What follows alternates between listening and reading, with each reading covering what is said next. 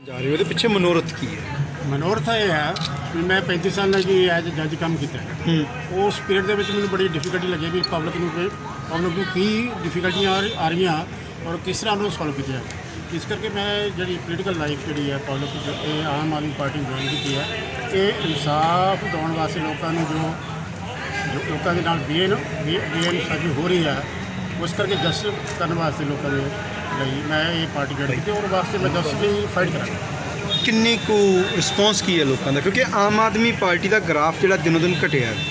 ਲੋਕ ਆਮ ਆਦਮੀ ਪਾਰਟੀ ਦੀ ਕਾਰਜ ਸ਼ੈਲੀ ਨੂੰ ਲੈ ਕੇ ਕਾਫੀ ਨਿਰਾਸ਼ਾ ਚ ਗਏ ਸੀਗੇ। ਦੇਖੋ ਮੈਂ ਜਦੋਂ ਜਲੰਧਰ ਆ ਗਿਆ ਔਰ ਮੇਰੇ ਮੁਤਾਬਕ ਜੋ ਮੈਨੂੰ ਪਬਲਿਕ ਮਿਲਦੀ ਆ ਜੋ ਟੈਲੀਫੋਨ ਹੋ ਰਹੇ ਆ ਉਸ ਤੋਂ ਲੱਗਦਾ ਵੀ ਅੱਗੇ ਨੂੰ ਮੇਰੀ ਜਿਹੜੀ ਪਾਰਟੀ ਦੀ ਮਿਸ਼ਨ ਅਪਰੂਵ ਹੋਊਗੀ ਔਰ ਮੈਨੂੰ ਬਿਲਕੁਲ 100% ਕੀ ਹੈ ਵੀ ਮੈਂ ਜਿੱਤੂੰਗਾ ਜੇ ਜੱਸੀ ਜਸਰਾਜ ਹੈ ਜੀ ਉਹ ਭਗਵੰਤ ਮਾਨ ਉਹਨਾਂ ਦੇ ਉੱਤੇ ਐਲੀਗੇਸ਼ਨ ਲਾ ਰਹੇ ਨੇ ਪਾਰਟੀ ਦੇ ਫੰਡਾਂ ਨੂੰ ਲੈ ਕੇ ਕਿ ਜਿਹੜੇ ਲੋਕ ਫੰਡ ਤਬਾਰ ਕਰਕੇ ਫੰਡ ਭੇਜਦੇ ਨੇ ਪਾਰਟੀ ਦੇ ਨੁਮਾਇੰਦਿਆਂ ਨੂੰ ਪਾਰਟੀ ਦੀ ਉਹ ਖਰੇ ਉੱਤਰ ਪਾਉਂਦੇ ਪਾਰਟੀ ਦੀ ਪੋਜੀਸ਼ਨ ਹੈ ਰਹੀ।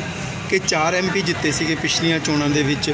ਉਹਨਾਂ ਵਿੱਚੋਂ ਚਾਰੇ ਹੀ ਵੱਖਰੀਆਂ ਵੱਖਰੀਆਂ ਪਾਰਟੀਆਂ ਚਲੇ ਗਏ। ਡਾਕਟਰ ਧਰਮਵੀਰ ਗਾਂਧੀ ਵੀ ਵੱਖਰੇ ਹੋ ਗਏ। ਹਰਿੰਦਰ ਸਿੰਘ ਖਾਲਸਾ ਜਿਹੜੇ ਨੇ ਬੀਜੇਪੀ ਚਲੇ ਗਏ। ਤੁਸੀਂ ਕਿਸ ਤਰ੍ਹਾਂ ਦੇਖੋ ਦੇਖੋ, ਜਿਹੜੇ ਆਦਮੀ ਨੇ ਕਿ ਕਿਸੇ ਮੋਟਰ ਵਾਸਤੇ ਜੁਆਇਨ ਕਰਦੇ ਨਾ, ਉਹਨਾਂ ਦੀ ਆਪਣੀ ਸੋਚ ਹੈਗੀ ਆ। ਲੇਕਿਨ ਅਸੀਂ ਪਾਰਟੀ ਨਾਲ ਆ। ਪਾਰਟੀ ਜੋ ਜਬ ਬਿਲਕੁਲ ਬਹੁਤ- ਮਤਲਬ ਸ਼ੋਗਰ ਮੈਂ ਨਕੀ ਇਮਾਨਦਾਰੀ ਨਾਲ ਕੰਮ ਕਰੂੰਗਾ। ਇਸ ਕਰਕੇ ਜਿਹੜੇ ਆਦਮੀ ਕਿਸੇ ਮੋਟਿਵ ਲਈ ਆ ਜੁਆਇਨ ਕਰਦੇ ਆ ਉਹਨਾਂ ਬਾਰੇ ਮੇਰਾ ਕੋਈ ਕਮੈਂਟ ਨਹੀਂ। ਉਹ ਤਾਂ ਜਾਂ ਤੁਸੀਂ ਤੁਹਾਨੂੰ ਉਹਨੂੰ ਦੇਖੇ ਵੀ ਚਾਹੋਗੇ। ਤੁਸੀਂ ਗੁਰੂ ਗ੍ਰੰਥ ਸਾਹਿਬ ਬੇਅਦਬੀ ਕਾਂਡ ਦੀ ਜਾਂਚ ਕੀਤੀ ਸੀ। ਹਾਂਜੀ। ਉਸ ਜਾਂਚ ਦੇ ਵਿੱਚ ਤੁਹਾਨੂੰ ਤੁਹਾਨੂੰ ਕਿਹੜਾ ਬੰਦਾ ਦੋਸ਼ੀ ਲੱਗਾ ਸੀ? ਦੇਖੋ ਮੈਂ ਇਹ ਵਾਕਿਆ ਹੋਇਆ ਜੂਨ 2015 ਵਿੱਚ। ਤੇ ਮੈਂ 6-7 ਮਹੀਨੇ ਦੇ ਜੂਨ 2016 ਦੇ ਵਿੱਚ ਰਿਪੋਰਟ ਦਿੱਤੀ ਹੈ। ਉਸ ਟਾਈਮ ਅਕਾਲੀ ਗਵਰਨਮੈਂਟ ਦੀ ਪਾਵਰ ਸੀ। ਅਕਾਲੀ ਗਵਰਨਮੈਂਟ ਵੀ ਮੈਨੂੰ ਅਪਾਇੰਟ ਕੀਤਾ। ਔਰ ਮੈਂ ਓਨੈਸਟਲੀ ਜੋ ਐਵੀਡੈਂਸ ਮੌਕੇ ਤੇ ਸੀ, ਉਸ ਨੂੰ ਦੇਖ ਕੇ ਰਿਪੋਰਟ ਦਿੱਤੀ ਆ। ਲੇਕਿਨ ਬੜੀ ਮਤਲਬ ਆਈ ਕੈਨ ਸੇ ਕਿ ਬੜੇ ਦੁੱਖ ਦੁੱਖ ਨਾਲ ਕਿਹਾ ਜਾਣਾ ਕਹਿੰਦਾ ਵੀ ਇਹ ਅਕਾਲੀ ਪਾਰਟੀ ਨੇ ਰਿਪੋਰਟ ਟੇਬਲ ਨਹੀਂ ਕੀਤੀ। ਰਿਪੋਰਟ ਨੂੰ ਟੇਬਲ ਕਰਨਾ ਚਾਹੀਦਾ ਪਬਲਿਕ ਨੂੰ ਪਤਾ ਲੱਗਣਾ ਚਾਹੀਦਾ ਸੀ ਵੀ ਇਹਦੇ ਵਿੱਚ ਕੌਣ ਜ਼ਿੰਮੇਵਾਰ ਆ। ਇਹ ਇੰਡੀਕੇਸ਼ਨ ਕਦੋਂ ਜਾ ਰਹੀ ਆ। ਕਿੱਧਰ ਨੂੰ ਇੰਡੀਕੇਸ਼ਨ ਕਿੱਧਰ ਜਾ ਰਹੀ ਸੀ? ਉਹ ਤਾਂ 100% ਕਲੀਅਰ ਆ ਗਈ ਆ ਉਹ ਉਹ ਮੈਂ ਵੀ ਪਹਿਲਾਂ ਹੀ ਮੈਂ ਇਹ ਕਹਿ ਰਿਹਾ ਵੀ ਮੇਰੀ ਰਿਪੋਰਟ ਨੂੰ ਟੇਬਲ ਕਰਨਾ ਚਾਹੀਦਾ ਸੀ। ਉਹ ਅਸੈਂਬਲੀ ਵਿੱਚ ਉਹਨੂੰ ਡਿਸਕਸ ਡਿਸਕਸ ਕਰਨਾ ਚਾਹੀਦਾ ਸੀ। ਉਸ ਕਰਕੇ ਪਤਾ ਲੱਗਣਾ ਸੀ ਵੀ ਕਿਹੜਾ ਜ਼ਿੰਮੇਵਾਰ। ਤੁਸੀਂ ਰਿਪੋਰਟ ਤਿਆਰ ਕੀਤੀ ਹੈ। ਹਾਂਜੀ। ਹੁਣ ਚੂੰਕਿ ਜਸਟਿਸ ਰਣਜੀਤ ਸਿੰਘ ਕਮਿਸ਼ਨ ਦੀ ਰਿਪੋਰਟ ਦੇ ਉੱਤੇ ਬਹਿਸ ਵੀ ਹੋ ਗਈ ਡਿਬੇਟ ਵੀ ਹੋਈ ਵਿਧਾਨ ਸਭਾ ਦੇ ਵਿੱਚ। ਹਾਲੇ ਤੱਕ ਕਲੀਅਰ ਨਹੀਂ ਕਰਦੇ ਪਏ। ਸਿੱਟ ਬਣਾਈ ਗਈ ਸੀ। ਸਿੱਟ ਦਾ ਜਿਹੜਾ ਅਧਿਕਾਰੀ ਸੀਗਾ, ਉਹਨੂੰ ਚੇਂਜ ਕਰ ਦਿੱਤਾ ਕਿ ਇਲੈਕਸ਼ਨ ਦੇ ਵਿੱਚ ਫ਼ਰਕ ਪਾ ਸਕਦਾ ਤੁਹਾਨੂੰ ਲੱਗਦਾ ਕਿ ਕੀ ਇਹਦੇ ਵਿੱਚ ਸਿੱਧੇ ਤੌਰ ਦੇ ਉੱਤੇ ਜਿਹੜੀ ਅਕਾਲੀ ਦਲ ਦੀ ਸ਼ਮੂਲੀਅਤ ਹੈ, ਵੇ ਬੇਦਬੀ ਕਾਂਡ ਵਿੱਚ ਦੇਖੋ, ਦੋਨੇ ਅਕਾਲੀ ਗਵਰਨਮੈਂਟ ਤੇ ਕਾਂਗਰਸ ਗਵਰਨਮੈਂਟ ਇਹ ਦੋਨੇ ਮਿਲੇ ਹੋਏ ਮੈਂ ਰਿਪੋਰਟ ਸਬਮਿਟ ਕੀਤੀ, ਉਸ ਤੋਂ ਬਾਅਦ 6-7 ਮਹੀਨੇ ਅਕਾਲੀ ਗਵਰਨਮੈਂਟ ਪਾਵਰ 'ਚ 6 ਮਹੀਨੇ ਚ ਰਿਪੋਰਟ ਅਸੈਂਬਲੀ 'ਚ ਟੇਬਲ ਕਰਨੀ ਚਾਹੀਦੀ ਹੈ। ਇਹ ਲਾ ਹੈਗਾ। ਔਰ ਉਹ ਟੇਬਲ ਹੀ ਹੋਈ। ਉਸ ਤੋਂ ਬਾਅਦ ਕਾਂਗਰਸ ਗਵਰਨਮੈਂਟ ਆ ਗਈ। ਕਾਂਗਰਸ ਗਵਰਨਮੈਂਟ ਨੇ ਵੀ ਉਹ ਤੇ ਕੋਈ ਐਕਸ਼ਨ ਲਿਆ। ਦੁਬਾਰਾ ਕਮਿਸ਼ਨ ਬਣ ਗਿਆ। ਲੇਕਿਨ ਉਸ ਕਮਿਸ਼ਨ ਤੇ ਵੀ ਅਕਾਲੀ ਗਵਰਨਮੈਂਟ ਨੇ ਐਲੀਗੇਸ਼ਨ ਲਾਇਆ ਵੀ ਅਸੀਂ ਤੈਨੂੰ ਕਮਿਸ਼ਨ ਹੀ ਨਹੀਂ ਮੰਨਦੇਗੇ ਉਸ ਤੋਂ ਬਾਅਦ ਐਸਆਈਟੀ ਬਣਾ ਦੀ ਐਸਆਈਟੀ ਤੋਂ ਬਾਅਦ ਵਿੱਚ ਵਿਜੇ ਕੁਮਾਰ ਸਿੰਘ ਜਿਹੜੇ ਉਹ ਮੈਂਬਰ ਸੀਗੇ। ਬੜੇ ਓਨੈਸਟ ਅਫਸਰ ਹੈਗਾ ਮੇਰੇ ਨਾਲ ਉਹਨਾਂ ਨੇ ਕੰਮ ਕੀਤਾ। ਔਰ ਆਈ ਨੋ ਹਿਮ ਪਰਸਨਲੀ ਕੋਈ ਇਹੀ ਗੱਲ ਨਹੀਂ। ਉਹ ਪਰ ਉਹ ਤੋਂ ਐਲੀਗੇਸ਼ਨ ਲਾ ਕੇ ਉਹਨੂੰ ਟ੍ਰਾਂਸਫਰ ਵਾਸਤੇ ਨੇ ਕਿ ਆਰਡਰ ਕਰਤਾ। ਇਹ ਉਹਨਾਂ ਨੂੰ ਬਚਾਉਣ ਵਾਸਤੇ ਕਿ ਸਭ ਕੁਝ ਕੀਤਾ ਗਿਆ ਅਦਰਵਾਈਜ਼ ਜੋ ਮੇਰੀ ਰਿਪੋਰਟ ਹੀ ਟੇਬਲ ਕਰਦੇ ਔਰ ਥੋੜੇ ਚਿਰ ਹੀ ਪਤਾ ਲੱਗ ਜਾਣਾ। ਥੋੜੇ ਚਿਰ ਹੀ ਪਤਾ ਲੱਗ ਜਾਣਾ ਵੀ ਕਿਹੜੇ ਜ਼ਿੰਮੇਵਾਰ ਆ। ਜੇ ਆਪਾਂ ਗੱਲ ਕਰੀਏ ਜਸਟਿਸ ਰਣਜੀਤ ਸਿੰਘ ਕਮਿਸ਼ਨ ਦੀ ਰਿਪੋਰਟ ਦੀ ਉਹ ਜਨਤਕ ਹੋ ਗਈ ਸੀ ਟੇਬਲ ਵੀ ਹੋ ਗਈ ਸੀ। ਠੀਕ ਹੈ। ਕਿੰਨਾ ਕੁ ਅੰਤਰ ਹੈ ਜੀ? ਤੁਹਾਡੀ ਰਿਪੋਰਟ 'ਚ ਤੇ ਉਹਦੀ ਰਿਪੋਰਟ 'ਚ? ਮੇਰੀ ਰਿਪੋਰਟ ਤੇ ਉਹਦੀ ਰਿਪੋਰਟ ਕੋਈ ਫ਼ਰਕ ਨਹੀਂ ਗਾ। ਠੀਕ ਹੈ। ਫ਼ਰਕ ਤਾਂ ਇਹ ਵੀ ਗਵਰਨਮੈਂਟ ਕੋਈ ਐਕਸ਼ਨ ਲੈ ਰਹੀ। ਗਵਰਨਮੈਂਟ ਹਾਲੇ ਤੱਕ ਕੋਈ ਕੋਈ ਐਕਸ਼ਨ ਨਹੀਂ ਕੋਈ ਲਿਆ। ਐਕਸ਼ਨ ਲੈ ਰਹੀ ਯੂ نو ਕੀ ਐਕਸ਼ਨ ਹੋਇਆ? ਕਿਸ ਤਰ੍ਹਾਂ ਦਾ ਐਕਸ਼ਨ ਹੋਣਾ ਚਾਹੀਦਾ ਸੀ? ਮਤਲਬ ਜਿਹੜੇ ਜ਼ਿੰਮੇਵਾਰ ਆ ਲੋਕ ਉਹਨਾਂ ਤੇ ਐਕਸ਼ਨ ਹੋਣਾ ਚਾਹੀਦਾ? ਇਹ ਗੱਲਾਂ ਤੁਸੀਂ ਜਨਤਕ ਕਰੋਗੇ ਲੋਕਾਂ ਨੂੰ ਅਵੇਅਰ ਕਰੋਗੇ? ਬਿਲਕੁਲ ਬਿਲਕੁਲ 100% ਕਰੋ। ਬੇਦਬੀ ਕਾਂਡ ਦੇ ਦੋਸ਼ੀਆਂ ਨੂੰ ਨੰਗਾ ਕਰੋਗੇ? ਬਿਲਕੁਲ। ਸਿਰਸਾ ਸੌਦਾ ਕਿੰਨਾ ਕੁ ਵਿੱਚ ਇਨਵੋਲਵ ਹੈ ਜਿਹੜਾ ਸੱਚਾ ਦੀ ਦੇਖੋ। ਮੇਰੇ ਜਿਹੜੇ ਮੈਂ ਇਨਕੁਆਰੀ ਕਰਦਾ ਰਿਹਾ ਉਸ ਟਾਈਮ ਤੇ ਡੇਰਾ ਸੱਚਾ ਸੌਦੇ ਵਾਲੀ ਕੋਈ ਗੱਲ ਨਹੀਂ ਸੀਗੀ।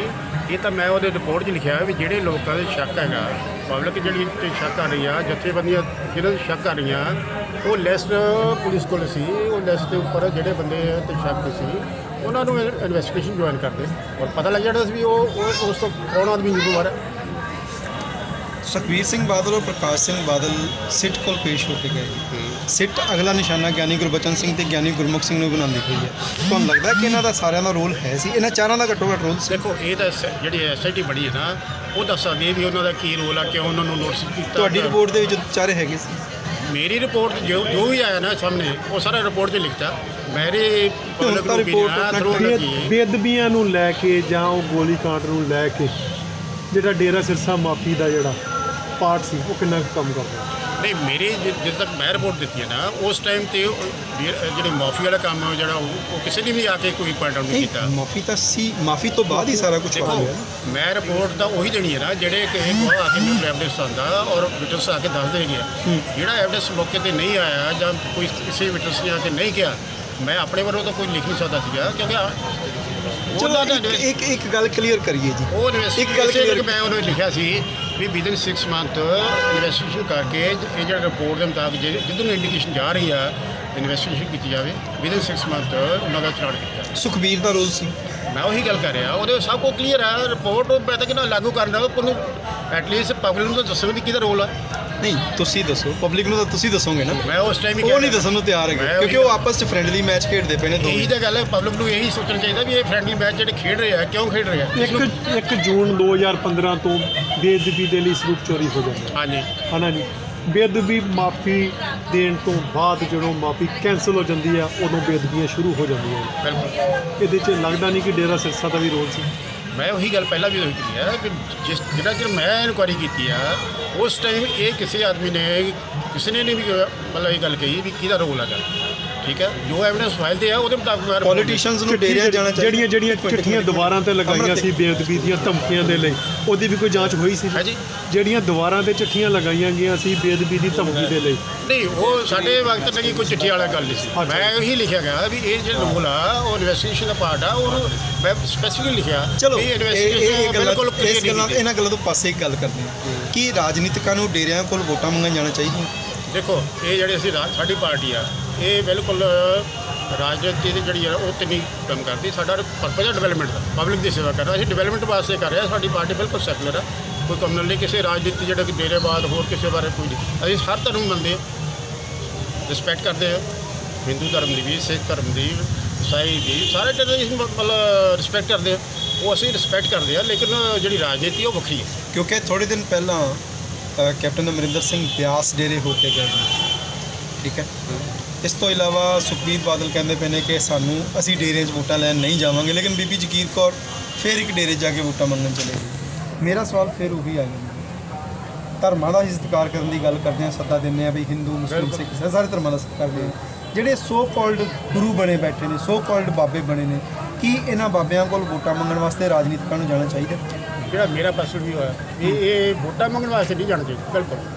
ਹਾਂ ਤਾਂ ਰਿਸਪੈਕਟ ਕਰਨੀ ਚਾਹੀਦੀ ਹੈ ਹਰ ਧਰਮ ਦੀ। ਵੋਟਾਂ ਦੇ ਬਾਰੇ ਤਾਂ ਰਾਜਨੀਤੀ ਨਹੀਂ ਕਰਨੀ ਚਾਹੀਦੀ। Thank you very much